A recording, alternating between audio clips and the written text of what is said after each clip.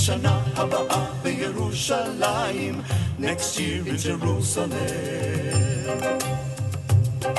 Over there, over there in Welcome to Theology in Perspective, the Bible teaching ministry of Dr. Daniel Woodhead. Welcome to Theology in Perspective. I'm Daniel Woodhead, and I'm blessed that you could join me again today as we study together the book of Revelation, the revelation of Jesus Christ. We're nearing the end of the tribulation.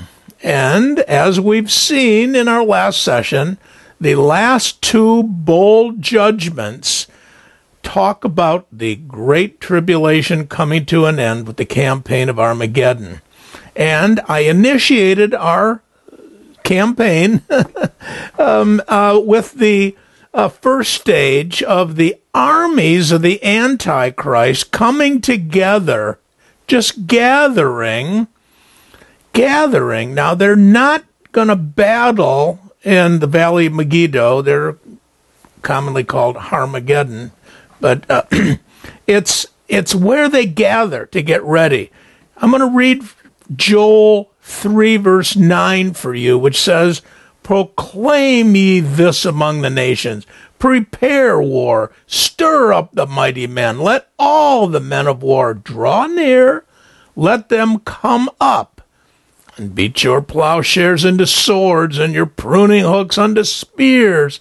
Let the weak say, I am strong. Haste ye and come, all ye nations round about, and gather yourselves together.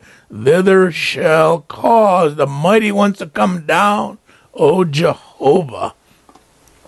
Now, God here is mocking them by telling them to go ahead and manufacture weapons. Go ahead. For the weak, he says, for the weak, he says, go ahead and persuade yourselves that you're strong. because while Satan and the Antichrist prepare the forces for the purpose of destroying the Jews, God has an entirely different purpose for allowing this gathering. Psalm 2, verse 1 says, and 2 and 3 even say, Why do the nations rage and the peoples mediate a vain thing? The kings of the earth set themselves and the rulers take counsel together saith Jehovah, against his anointed, saying, Let us break their bonds asunder, and cast away their cords from us. He that sitteth in the heavens will laugh. The Lord will have them in derision. And then verse 5 and 6 say, Then will he speak unto them in his wrath, and vex them in his sore displeasure. Yet I have set my king upon the holy hill of Zion. So this just demonstrates that the taunting of the nations gathered together to do harm to God the Father and Jesus Christ, they think they're going to really prevail here. Satan is also seen seeking to destroy God's Jews and break the cords of God's control in the world. You know, God is seen as sitting in heaven laughing at this folly. God is, will be established, and in his first stage of the campaign of Armageddon, as the armies gather for their next move. So we've established that right? They're gathering in the valley of Jezreel, okay, just like the Allies gathered in England to prepare for D Day of June the 6th of 1944, where they came across the Channel and then they moved into Normandy, France. But that's not where they gathered. They gathered in England. So here they're gathering in the valley of Jezreel. They're getting ready now, I want to look at the next stage here, which is the destruction of Babylon, and just introduce this topic because it is quite complex. Ancient Babylon is going to be rebuilt, and it's going to become the Antichrist political and economical capital of his worldwide empire. Remember now, Jerusalem is the ecclesiastical capital. Where the false prophet is. But that's not where the economic and the political capital are. It, it, that that's that uh, is not to be confused also with the temporary battle camp that's stated in Daniel eleven forty five. No, this is the headquarters of the one world government. In Daniel 11:45 it states that the antichrist is going to plant his headquarters during the mid-tribulation war just before he's killed and then he's brought back to life by Satan himself and this is known as the second worldwide conflict. It, it, it's fully described in Daniel 11 verses 40 to 45. And uh, a more accurate translation of that would be He shall plant the tents of his palace between the seas at the glorious holy mountain. And the word for tent there just refers to like a military tent of a general. And the word for palace is like a royal tent. It's a royal tent of a military general. That's the Antichrist. And it's set up. It's set up between the seas, meaning between the Mediterranean Sea on the east and the Dead Sea, or on the west and the Dead Sea, Salt Sea, if you will, on, on the east. Furthermore, it's at the glorious holy mountain, meaning the Temple Mount, or Mount Moriah, Mount Zion, the Temple Mount.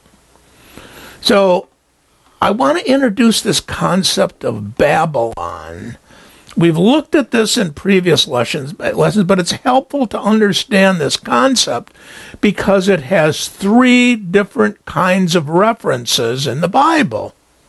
Now, the Bible contains eight chapters that deal with the concept of Babylon. It's Genesis 10 and 11, Isaiah 13 and 14, Jeremiah 50 and 51, and finally Revelation 17 and 18 each of these chapters plays a role in the origin and the identification and the destiny also of Babylon.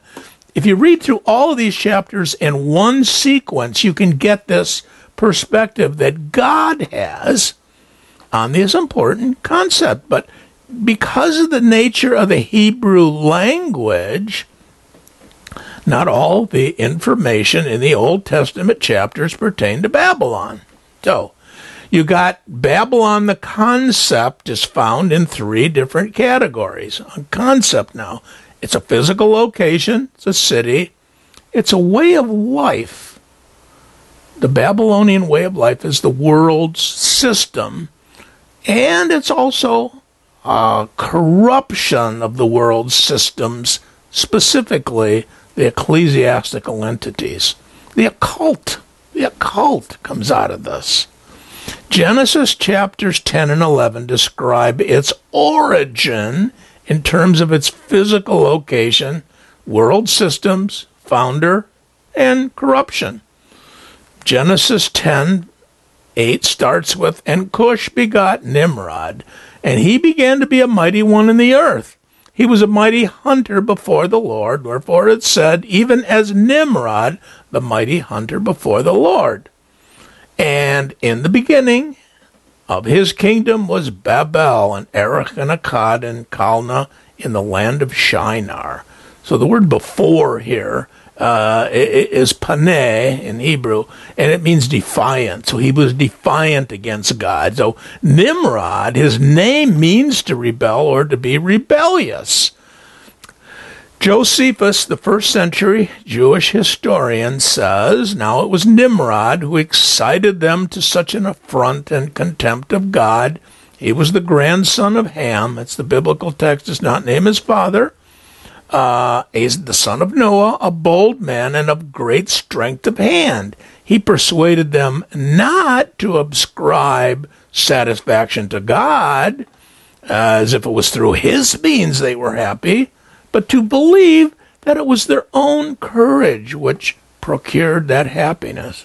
He also gradually changed the government into tyranny, seeking no other way of turning men from the fear of God, but to bring them into a constant dependence on his power.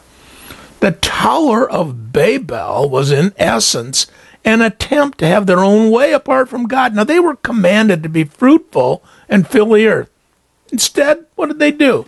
They attempted to settle down in one location and and, and, and, and just establish a world state to offset the divine rule. The tower was meant to be a rebellious attempt to break from divine rule. They did not wish to obey God. Now, I want to talk a little bit about the cultic background of Babylon. Tradition suggests that Nimrod died a violent death. Now, one tradition says a wild animal killed him.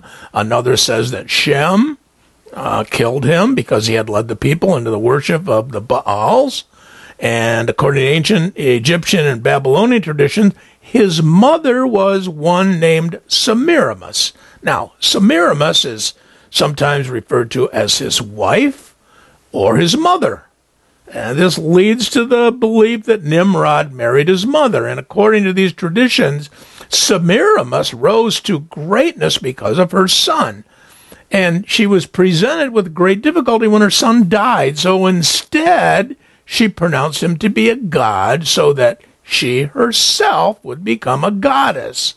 Now, even though Semiramis claimed to be a virgin, she had another son called Tammuz, who she said was the reincarnation of Nimrod.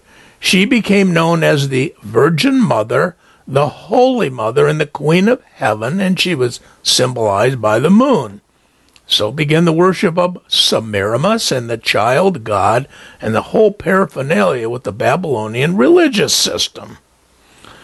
After the decline of Babylon, this religion, now it doesn't matter whether these things are true or not, genuine. What it what matters is they were believed, they were adhered to, and they were promulgated. That's the truth of it. Whether it's actually factual that there was a Semiramis, uh, we don't know.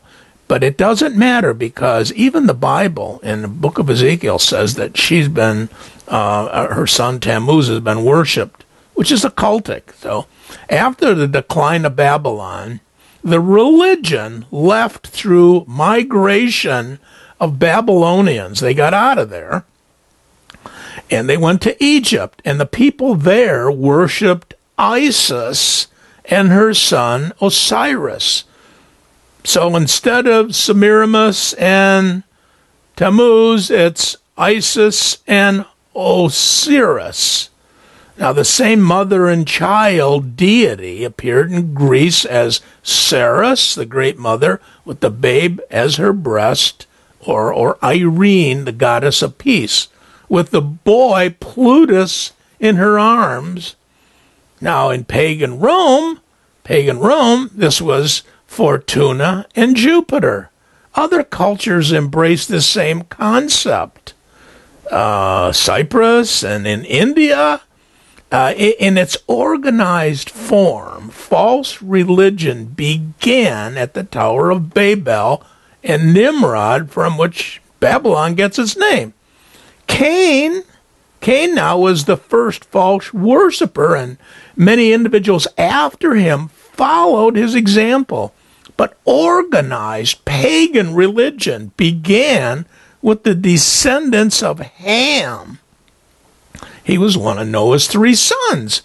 Now, they decided under Nimrod to, to, to, to erect this great monument that was going to reach to heaven and make themselves a great name. So, under the leadership of the proud and apostate Nimrod, they planned to storm heaven and unify their power and prestige in a great worldwide system of worship. That was man's first counterfeit religion from which every other false religion, in one way or another, sprang. God's judgment frustrated their primary purpose of making a grand demonstration of humanistic unity. So God confuses their language so that they could not understand one another's speech, and he scattered them abroad from there over the whole face of the earth. So the Lord halted the building of that tower and he fractured their solidarity, broke them apart. But those people took with them the seeds of that false idolatrous religion. They didn't give this up. And they and their descendants have been planning this around the world ever since. Now, the ideas and the forms were altered, and adapted, and sometimes more sophisticated or less sophisticated, but the basic system remains and it's unchanged. That's why Babel or Babylon is called the mother of harlots and the abominations of the earth. That's from Revelation 17:5. She was the progenitor of all false religions. From various ancient sources, it seems like Nimrod's wife, mother, Semiramis, apparently was a high priestess of the Babylonian religion and the founder of all mysterious religions. So, after the tower was destroyed and all the new languages were given by God, she was worshipped as a goddess under a whole bunch of different names. She came she became Ishtar of Syria, Astarte of Phoenicia, and Isis of Egypt, Aphrodite of Greece, and Venus of Rome. Each one of these, in each one of these cases, she's a deity of sexual love and fertility. Her son, Tammuz, also became deified under a whole bunch of different names. It was the consort of Ishtar and the god of the underworld. Now, according to this cult of Ishtar, Tammuz was conceived by a sunbeam. He was the counterfeit virg- uh, uh, version here of, of, of Jesus' virgin birth. Tammuz corresponded to Baal in Phoenicia, Osiris in Egypt, and Eros in Greece, and Cupid in Rome. In every case, the worship of those gods and goddesses were associated with sexual immorality. The celebration of Lent has no basis in Scripture, but rather developed from the pagan celebration of Semiramis, mourning for 40 days over the death of Tammuz. Now, before his alleged resurrection is another one of uh, Satan's mythical counterfeits. Look, look here. In, in, in, in Ezekiel 13, excuse me, 8, 13, 14, and uh, 15, God is showing Ezekiel what is going on at the temple in Jerusalem. Ezekiel's been carted off to Babylon, 597 BC. And between then and 586, when the Babylonians finally broke through and ruined the city, he was warning, God was warning Ezekiel to tell people, tell people what's going on over there. And he says, Turn ye yet again, and thou shalt see greater abominations that they do. Then he brought me to the door of the gate of the Lord's house, which was toward the north, and behold, there sat women weeping for Tammuz. And he said unto me, Hast thou seen this, O son of man? Turn thee yet again, and thou shalt see greater abominations than these. So Ezekiel is communing with the Lord in a vision, and the Lord showed him these things. The Babylonians took Ezekiel to Babylon again, you know, uh, sometime uh, like 597, 598 BC, and this is what God is showing him. Now, we're going to further develop the concept of Babylon um, because the text here develops the concept of Nimrod being against the Lord, and it's confirmed in uh, several uh, Jewish writings, not just in our our Bible, the book of Genesis. The Targum of uh, Jonathan describes Nimrod to be the mightiest rebel against the Lord that ever was on the earth. The Jerusalem Targum reads it that he was mighty in sin before the Lord and a hunter of men, exhorting them to leave the judgments of Shem and adhere to the judgments of Nimrod. Remember, Shem was the good son of Noah. The good son is the firstborn, and that's the line through which the Lord Jesus came. And he wanted, uh, he was fighting, fighting this process.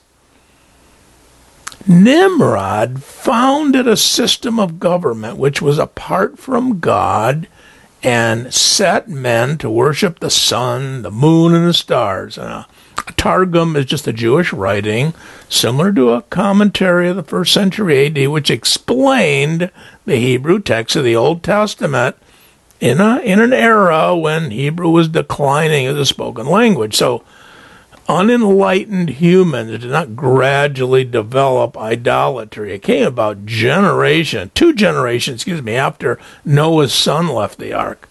Idolatry rose suddenly under Nimrod, the great grandson of Noah. He brought it into being to counteract the will and the worship of the true God. He resisted, he rebelled, he hated God. You know, this is deification of humans, the lust of the eyes, the lust of the flesh, the pride of life, instead of the true Creator. Now, the third part of this idea of Babylon is their commerce. In and of itself, these concepts are not bad, but this is what they worshipped instead of God. For nearly 2,000 years, Babylon was one of the most important cities in the world.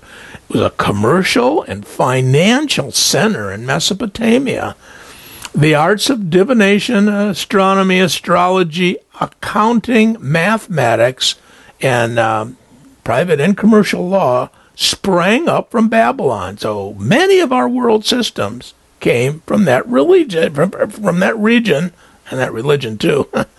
Herodotus, the Greek father of history, he claimed that the outer walls were 56 miles in length, 80 feet thick, and 320 feet high. He said that they were wide enough to allow a four horse chariot to turn around on. The river Euphrates ran through the middle of the city under the walls and were linked with a moat surrounding the walls.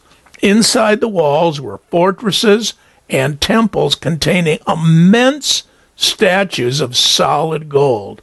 And rising above the city was the famous Tower of Babel. And that was a temple to the god Marduk that seemed to reach to the heavens.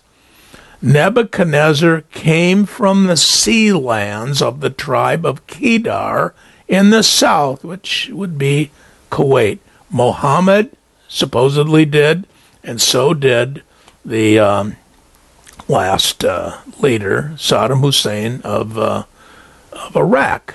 Now, Nebuchadnezzar also built the Ishtar Gate. It was a double gate at the south end of the processional way, and that was dedicated to the goddess Ishtar. It was covered with brilliant blue grays, blicks, and, and, and it, it had these bas relief animal sculptures. It now sits in the State Museum of Berlin. Nebuchadnezzar paved the street sidewalks with small red stone slabs, and along the edge of each stone it said, I am Nebuchadnezzar, king of Babylon, who made this. It was, just demonstrating his complete and absolute power over Babylon. The Babylonians divided the day into 24 hours, and each hour into 60 minutes, and each minute 60 seconds. This form of counting, it's called hexadecimal or base 60, it survived for 4,000 years. Their year and calendar had 30 month days and 360 day years. Same as Genesis 7 and 8, Daniel 7, Revelation 12 and 14, and, and, and Revelation 13. So, so um, they had tables of squares, square roots, cubes, cube roots, reciprocals, exponential functions, and log functions. They had a knowledge of trigonometry long before the Greeks, and they knew the Pythagorean theorem 1200 years before Pythagoras did. And they had pi. They divided the circle into 360 degrees. Now, these are known concepts in math today, but they go back to the Babylonians. They developed them. Babylon spiritually symbolized the city of man or the city of Satan. It's never been destroyed yet. It fell into disrepair over the years since Cyrus the Mede took over the city under Saddam Hussein. It was partially rebuilt, but God's going to destroy it. God is going to destroy it. I want to close with a short discussion here of the two women. The book of Revelation describes two women who are mothers that represent God's chosen people, and the Babylonian system from Nimrod to the present age. It's important to demonstrate the contrast between these two so you can see how God characterizes his chosen in true faith in the abomination of idolatry that he's about to overthrow with the destruction of Babylon and the Babylonian system. Now, the first woman is called the woman clothed with the sun, the moon, and the stars, and she's presented in chapter 12 of Revelation representing the nation Israel or, or God's chosen. That's not to say that all Israel were true to him. I didn't say that. We know better than that. However, he chose them and he gave them his oracles and his scripture, which is his oracles, and the Messiah he brought through them. The woman presented in the 17th chapter represents the Nimrod initiated Babylonian system of corruption. Both are mothers. Both are mothers. The first brought forth a son who's the rule of the nations, Jesus. The second is the mother of harlots and the abominations of the earth. Now, both are splendidly dressed. The first is first one is clothed with the sun, and her clothing is made of light from heaven. The second is clothed in purple and scarlet and decked with gold, precious stones and pearls. All her ornaments are from below, either in the earth or in the sea both are very influential in their positions. The first has the moon, the empress of might, and the powers of darkness under her feet. The second has the rule of kingdoms and kings upon the earth. Both suffer. The first gets persecuted by the dragon, which is Satan, and tries to devour her child, Jesus. The second gets persecuted by ten kings who make her desolate and naked and eat her flesh and burn her with fire. Why, God, in his strength and judgment, gives her plagues. Both are very conspicuous and fill a lot of space in the history of the world. Both are counterparts of each other. One is a pure woman, the other is a harlot. The first is hated by the powers on the earth. The second is loved, flattered, and caressed by them. The first produces masculine nobility and is caught away to God and his throne. The second produces effeminate impurity, which calls, calls down the fierceness of the divine wrath. The first is sustained and helped by celestial wings. The second is supported and carried by the beast with seven heads and ten horns. The first has a crown, a royal diadem, and the second has upon her head the forehead of the greatest destroyer and oppressor of the holy people, and is drunken with the blood of the prophets and the saints, and upon all those that have been slain on the earth. The first will give way to the new, uh, uh new Jerusalem, and with heavenly splendor of restoring on earth, the second gives way to the city of Babylon that comes under the wrath of heaven. It's a it gets destroyed and becomes a habitation of demons and unclean spirits. These two women are set against each other as rivals, as rivals. And one is going to win and the other is not. Well, God bless you, and I'll pick this up in our next session. We hope you have been blessed by this message today on a contemporarily relevant Bible topic. Dr. Woodhead has been teaching the Bible for 25 years. He is a pastor, an author, and conference speaker on various biblical subjects. Dr. Woodhead is the Dean of the Jewish Studies School at Scofield Seminary. His seminary teaching includes the Old Testament and Biblical Hebrew. He has attended Hebrew University in Jerusalem and a Hebrew College in Massachusetts. If you would like a DVD of today's program, please write us at Post Office Box 48, Hart, Michigan 49420. Again, that's Post Office Box 48, Hart, Michigan 49420, or call us at 877 706 2479. That's 877 706 2479. Once again, 877 706 2479. The cost is $15. Let us know if you have any questions about today's broadcast. We look forward to providing you with continuing Bible messages each week on this station. God bless you.